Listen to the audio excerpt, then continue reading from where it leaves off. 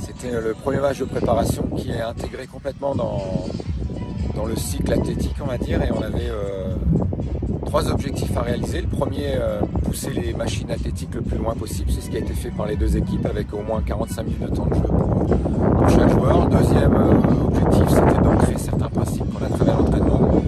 J'ai retrouvé les principes en match, donc je suis très satisfait. troisième principe, on a eu beaucoup de changements dans l'effectif, donc de retrouver une, la naissance d'un groupe et de deux équipes, une en première, une en deuxième.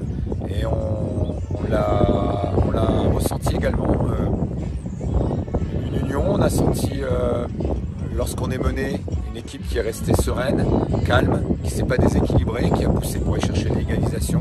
Puis en deuxième mi-temps, la deuxième équipe qui, avec beaucoup de sérénité, a cherché à construire pour à un moment donné aller, aller piquer et marquer le deuxième but. Donc euh, les objectifs sont atteints, on a bien conscience qu'il y a encore une grosse marge de progression mais c'est complètement légitime à ce moment-là de, la saison.